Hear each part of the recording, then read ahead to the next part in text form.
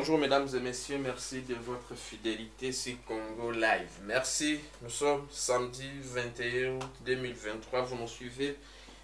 Merci de votre fidélité mesdames et messieurs, je parle bonjour et bienvenue. Bonjour à messieurs les journalistes, bonjour à nos téléspectateurs, bonjour à tous ceux-là qui se battent pour que la RDC puisse recouvrir sa souveraineté nationale et internationale. Vous allez bien? Oui, nous tenons toujours tête haute. Les affrontements auraient pris ce samedi dans les brises après cinq jours d'accalmie sur, toutes les- les lignes de front.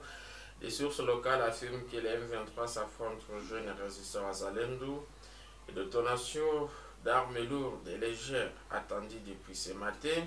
Pendant ce temps, des sources dans les Kichanga affirment que les rebelles ont coupé tous les tuyaux de ravitaillement dans la cité depuis la source de Mouré. Alors, la reprise des affrontements après cinq jours d'accalmie. En fait, nous dénonçons d'abord euh, ce comportement cruel et barbare de ces terroristes rwandais 1-23. Ils continuent toujours à maintenir leur comportement criminel. Euh, on ne comprend pas comment une cité qui abrite des hôpitaux, des zones de santé, des centres de santé, les cas de déplacés, cette zone peut être éprouvée en eau potable. C'est un crime contre l'humanité et je crois que euh, les ONG devraient mentionner ça dans les rapports. On ne peut pas accepter, c'est inadmissible que même les hôpitaux, les personnes qui ne sont pas concernées par la guerre soient affectées directement. Mais aussi, ça doit interpeller tout citoyen congolais, tout celui-là euh, qui a encore cette aventure en tête qu'on peut cohabiter avec ces gens, c'est impossible. Celui qui te prive l'eau, te prive la vie. Si on peut aller aux bonnes nouvelles dans les euh, puisque les Bouézas c'est dans les Rutshuru, qu'ils appelaient arbitrairement Kigali, la bonne nouvelle est que nos jeunes compatriotes se sont réveillés depuis 1h du matin. Ils ont euh, pris des mesures pour corriger encore ces terroristes rwandais 1-23. Le cap actuellement, ce n'est que de prier les dieux des armées qu'ils puissent venir en aide de nos compatriotes, qu'ils puissent déloger une fois pour toutes ces terroristes rwandais RDF 123. Et nous sommes sûrs et certains, c'est le chemin vers Bunagana. On ne va plus s'arrêter. Il y a les cinq jours que, que nous avions observé d'accalmie. Vous avez vu comment est-ce que les jeunes, nous avions mis en garde l'EAC. Si l'EAC ose encore barricader les chemins ou bien s'interposer entre nos jeunes résistants Wazalendo et ces terroristes rwandais RDF, nous ordonnons à nos jeunes d'édiquer même l'EAC tout celui-là qui va s'interposer sur leur chemin. Mais qu'est-ce qui a expliqué cette accalmie? Non, la calmie était dit, vous savez que l'EAC s'interposait euh, face à face avec nos jeunes résistants Wazalendo et aussi il y avait aussi des questions euh, techniques que nous ne pouvons pas dire aux gens puisque comme vous le savez, même les Rwandais nous suivent, les agresseurs nous suivent. Euh, les Rwandais nous suivent, c'est pas un problème puisque c'est pas tout Rwandais qui est d'accord avec Kagame, mais les agresseurs rwandais nous suivent. Et ces questions techniques doivent rester confidentielles. Mais euh, ils ont fini par trouver quel est le chemin qu'il faut prendre et les jeunes auraient pris les affrontements. Selon le M23, Bertrand Bissimo a dit que les forces de l'armée révolutionnaire congolaise, donc le M23, se comportent bien sur les champs de bataille. Elles défendent leur position et assurent parfaitement la protection des déplacés. Non, ce sont des questions pour rassurer ceux-là qui sont loin, qui les suivent sur les réseaux sociaux. C'est une question de vouloir dire que non, nous sommes là, nous répondons, mais je vous dis, depuis 1h du matin, certains Rwandais commençaient à jeter leurs tenues. Et les jeunes, elles ne voient pas les tenues reculer. Ils sont en train de chercher celui qui a ôté la tenue. Et il faut la voir. Il faut mettre la main sur lui. Vous savez, nos jeunes, eux, ils incarnent cet esprit d'humanisme, comme vous le savez. La guerre n'est pas notre comportement. Les Congolais, nous sommes une population purement pacifique, hospitalier. La guerre n'est pas notre comportement. C'est pourquoi vous voyez, c'est là qui se rendent, on les arrête et on les remet dans les mains du gouvernement puisque c'est eux qui sont chargés de ça. C'est là qu'on arrête, on les arrête, on les soigne même. Il y a leurs blessés qui sont soignés, voyez-vous. C'est que tout ce que peut dire M. Bertrand ici, moi, c'est dans le but de rassurer. Mais les jeunes, c'est eux qui se comportent comme il fallait se comporter. Les jeunes sont très déterminés, plus que ce que M. Bertrand ici, moi, venait de dire. M. Bertrand ici, moi, voulait dire ça que non, ce sont les Wazalendo qui se comportent très bien, mais comme il ne peut pas le dire, il préfère porter cette gloire. Mais attendez, la vérité va triompher. Ça, c'est sûr et certain. Il se comporte comment? Les terroristes rwandais RDF ou bien les Wazalendo je parle de, Wazalendo. Non, les Wazalendo se comportent parfaitement sur toutes les lignes de front. Ils se défendent et ils se battent avec courage, véhémence, puisqu'ils veulent libérer la terre de leurs ancêtres. Ils veulent libérer euh, nos populations prises en otage par ces terroristes rwandais RDF. Et nous sommes sûrs et certains que dans moins euh, de 5-4 jours ici, vous n'allez plus entendre que ces Rwandais soient Ruchuru, que ces Rwandais soient Bunagana. Ça, euh, je vous l'ai dit, soyons tellement déterminés, soyons seulement courageux, faisons tout ce qu'il faut pour que nos jeunes puissent déloger ces Rwandais. Nous allons les traquer partout là où ils vont se cacher, que ce soit dans des troncs d'arbres, que ce soit dans des trous, nous allons y arriver et nous allons les faire dégrépir de notre territoire. Et, qu'est-ce qui explique? Parce que normalement, si on a observé ces cinq jours d'accalmie, aujourd'hui matin, nous apprenons la reprise des affrontements, l'IM23 lui prend sa thèse, il défend sa thèse, dit que ce sont ces éléments qui défendent après que euh, les FRDC, parce que sur le M23, c'est les FRDC en coalition avec les mercenaires, euh, tout ça, qui attaquent même les cas de, de, de déplacés. Comment comprendre ça? Nous devons préciser d'abord à notre communauté internationale. Moi, je dis notre communauté internationale, c'est notre diaspora. Nos FRDC ne combattent pas. Nous disons même aussi à ces mécanismes conjoints de vérification euh, régionale, les FRDC respectent scrupuleusement les cessez-le-feu. Les FRDC ne combattent plus, ça fait un bon moment. C'est là qui combattent avec professionnalisme, avec détermination et courage, ce sont nos jeunes Wazalendo. C'est qu'allègue là, monsieur euh, Bertrand ici, moi, que les jeunes attaquent même les cas de déplacés, mais c'est faux, archi faux. Nous sommes bien outillés des droits euh, humanitaires internationaux. Je ne vois pas un jeune Congolais qui peut s'apprendre au cas de déplacés. Je ne vois pas un jeune Congolais qui peut s'apprendre aux populations civiles. Ça, c'est pas nous. C'est pas notre comportement. Nous ne sommes pas comme eux et, et eux qui ont violé plus de 12 femmes. Et c'est ce qui a réveillé la population avec une colère exagérée, voyez-vous. Moi, je crois que M. Bertrand, ici, moi, devrait bien préparer sa valise et dire à ces, petits, ces petites personnes de préparer, de se retirer sur le sol congolais. S'il dit ça, c'est pour voir est-ce que leur patron de la maudite et, et conglomérat d'aventuriers communauté internationale vont venir encore euh, à leur rescousse. Si leurs amis de la MONUSCO vont venir aux rescousse. Mais nous disons à nos jeunes compatriotes, vous qui avez l'arme à main, si vous voyez les AC s'interposer, n'hésitez pas. Si vous voyez la Monisco s'interposer, n'hésitez pas. Nous aussi, dans cette ville, nous allons faire ce que nous pouvons pour vous permettre d'avancer. Et nous sommes en train de le faire. Je crois que les AC ont bien compris notre message. Ils n'ont qu'une semaine. Une semaine, si les sols congolais, si ils veulent y rester, qu'ils laissent les jeunes faire leur travail. S'ils s'interposent, ils vont voir comment est-ce que la population se met en colère. Ils vont savoir dans quelle température se dilate la population congolaise. Le porte-parole de l'armée, le lieutenant-colonel Guillaume Kaiko, a présenté hier vendredi 20 août des jeunes rebelles du M23 qui se sont rendus à l'armée congolaise. Ces rebelles affirment avoir été pris par force pour rejoindre les rangs des rebelles du M23. Ces derniers affirment la présence cependant des militaires rwandais aux côtés des M23 dont certains sont des instructeurs et combattants. Ces deux éléments, M23, se sont décidés en tout cas de revenir à la raison. Ils sont passés aux aveux pour dire qu'au regard de tout ce qu'ils ont eu comme traitement, mais aussi des promesses fallacieuses, ils se sont rendus compte que le M23 était un mouvement sans lendemain, ont-ils déclaré. En fait, félicite, je, félicite, ces jeunes et je les encourage. Euh, J'aimerais que même d'autres qui sont là puissent sauver leur peau. Euh, ce qui cause qu'à ce que moi je les encourage, c'est puisqu'ils ont fini par comprendre que tout ce que nous leur disons, euh, c'est pas faux. Tout ce que nous leur disons. Et d'ailleurs, on encourage toujours d'autres compatriotes de continuer toujours à sensibiliser ces jeunes, que ces jeunes ne puissent pas mourir inutilement. Ils ont été pris par force, oui, admettons, et ils ont accepté de se rendre.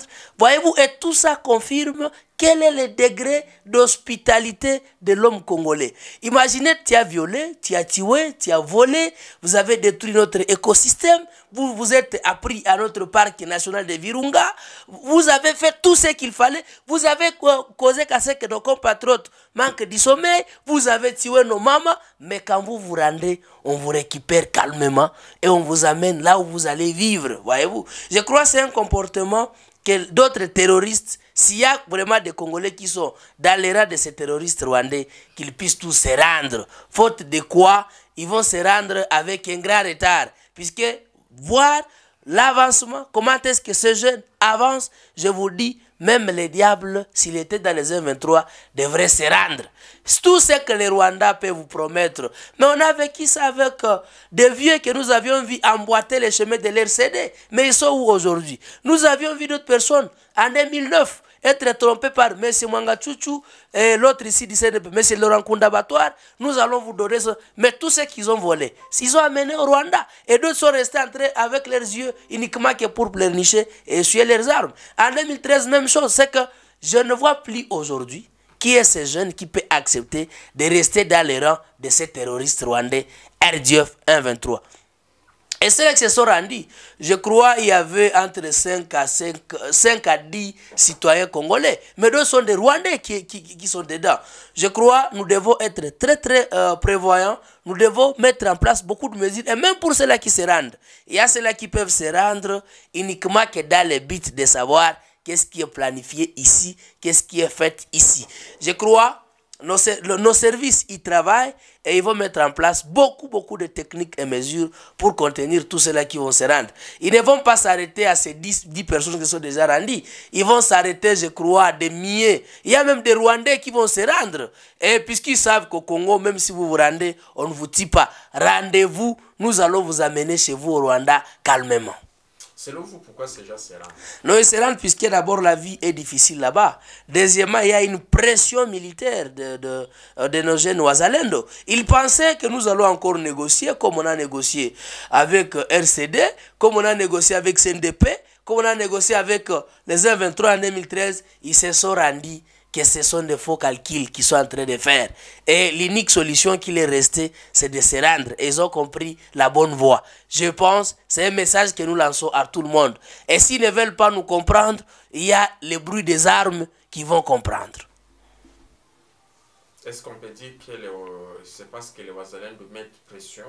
Parce que ces derniers temps, depuis la reprise des affrontements, les Ouazalènes mettent pression et c'est à ce moment-là qu'on voit des, des rendus au, au, au, au, CDM 23.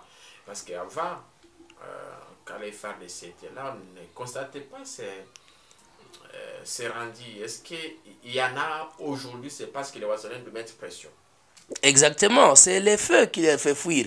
Et vous devez comprendre, même aussi à les à, aux périodes euh, des M23, il y en avait, mais ce n'est pas comme, pas comme aujourd'hui.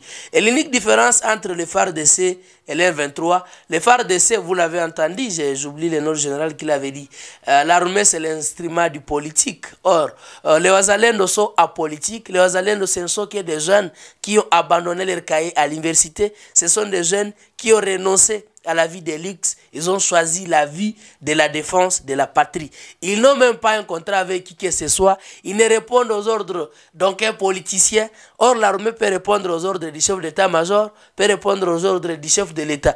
Les Ouazalendo, eux, n'écoutent personne. Ils écoutent la souffrance, la douleur que ressentent la population qui les avait vu naître. Ils écoutent la douleur de leur maman, de leur papa. Et c'est pourquoi vous voyez quand ces jeunes frappent, il frappe sans vergogne. Il y va en avant, en avant, pas question de reculer en arrière. C'est pourquoi vous voyez, comme il y a eu euh, la crue de la puissance des feux, les, terroristes rwandais M23 et commencent à avoir peur. Et ils savaient qu'on va dialoguer, mais on ne dialogue pas. Et comme on ne dialogue pas, ils n'ont qu'une unique solution, soit de se rendre, soit de quitter le sol congolais en train de fuir. Je crois que même le Bertrand ici, moi qui publie ça, il n'est plus même ici. Il est à Kigali maintenant là. Et là où il est, il a peur que si ces jeunes avancent, M. Kagame pour se laver va les livrer. Voyez-vous? Et moi je, pense, moi, je peux lui donner comme conseil qu'il commence par se rendre seul avant qu'on puisse l'attraper par nos, nos, par nos dix doigts. Il a ça comme devoir, soit de se rendre ou bien de fuir. Et cette guerre, on en a déjà assez parlé. Est-ce qu'on va continuer dans les mêmes rythmes? Euh, Oui, on a parlé de cette guerre. Comme vous le savez, nous sommes en train d'ailleurs de réfléchir sur... Euh, nous, nous, allons descendre dans des zones déjà libérées. Nous allons commencer ça quand on va prendre un bouise. C'est là où nous allons euh, descendre. La, la, question sérieuse, est-ce qu'on va continuer dans ce rythme Je crois que ça vaut la peine de continuer d'abord jusqu'à ce qu'on libère. Quand? On va continuer jusqu'à quand? Nous allons compter. Nous, ben, tout, parce que par exemple, aujourd'hui, quand on revient sur la question des Bouisa, on en a parlé depuis presque toute la semaine, mais c'est comme si les jeunes euh, font face à une résistance de la part du M23. Non, les jeunes font résistance euh, de la part de, des armées, trois armées d'ailleurs. Il y a l'armée ougandaise au sein de l'EAC, il y a l'armée du Kenya au sein de l'EAC, plus l'armée rwandaise, les M23. C'est que ces jeunes, et d'ailleurs, si ces jeunes euh, étaient de faibles personnes, ils ne devraient plus même avoir le contrôle de tout ce qu'ils ont déjà récupéré. Vous vous rappellerez avec moi que lorsque les jeunes avaient déjà pris les six collines stratégiques euh, dans les Bouiza, lorsque les jeunes avaient déjà pris Kaunga, lorsque les jeunes avaient déjà pris Kinyandoni, vous avez vu comment est-ce que les AC, ils se sont tous déversés euh, dans les, Bouiza, dans les Kinyandoni, et ici à Kaunga, uniquement que dans le but de combattre avec les jeunes résistants Wazalendo. Et comme nous, nous sommes respectueux de nous-mêmes, on ne voulait pas qu'il y ait l'affrontement direct entre nous et, la force régionale de l'EAC. C'est pourquoi vous avez vu les jeunes eux-mêmes s'étaient retirés. Malheureusement, en se retirant, les jeunes se sont rendus compte que l'EAC a encore cédé ses parties aux terroristes rwandais RDF 123. C'est pourquoi vous voyez que les jeunes avance, euh, euh, veulent encore reprendre tout ce qu'ils avaient déjà gagné et aller une fois pour toutes vers Bunagana, Ruchuru Centre et Kiwanja. Ce qu'il faut préciser, les jeunes avancent comme il fallait avancer. Ces jeunes ont sauvé Massissi dans moins, moins d'une semaine. Ils ont fait quatre jours et ils ont libéré Massissi. À part l'EAC, avec son cœur plein de rancune, à part, à part son cœur plein d'amour, aux M23, les jeunes devraient déjà sauver Rutshuru en général. Mais comme vous le savez, ces jeunes avancent et ils ne vont plus reculer en arrière.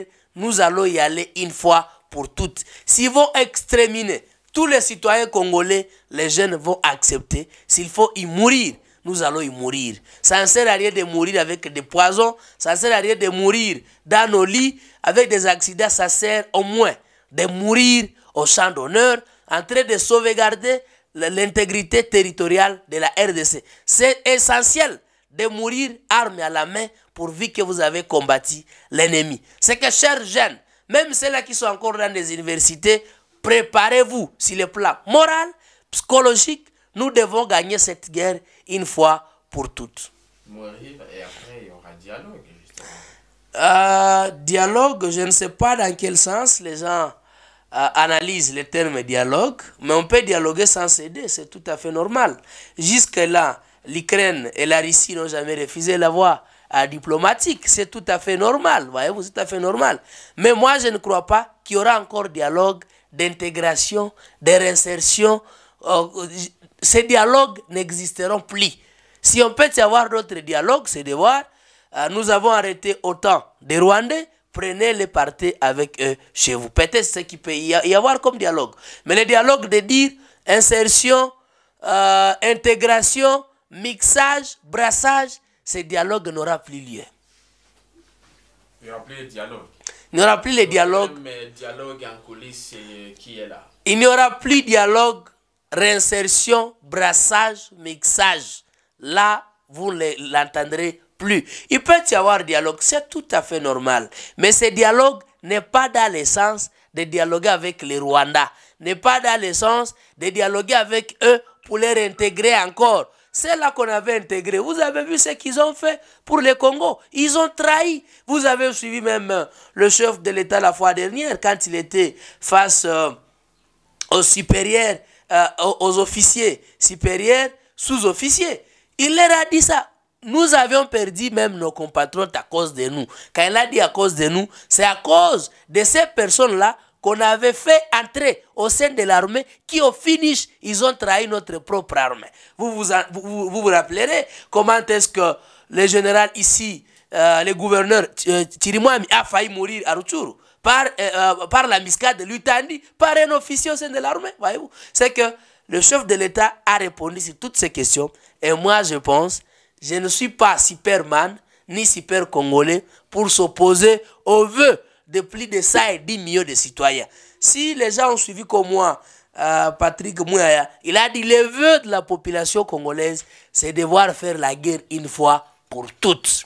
Et c'est ce que nous voulons puisque on ne peut pas faire plus de 30 ans d'agression, plus de 30 ans de fuir. Imaginez l'âge majeur que j'ai, né et grandi dans la guerre. C'est insupportable. Nous n'allons plus accepter de vieillir dans cette guerre. Et si nous allons y vieillir, mais que nos enfants ne puissent plus vivre ce que nous venons de vivre. Mesdames et messieurs, fait de cet entretien, espoir, merci d'avoir été là ce matin. On se retrouve le lundi pour un nouveau numéro. Mesdames et messieurs, bye bye.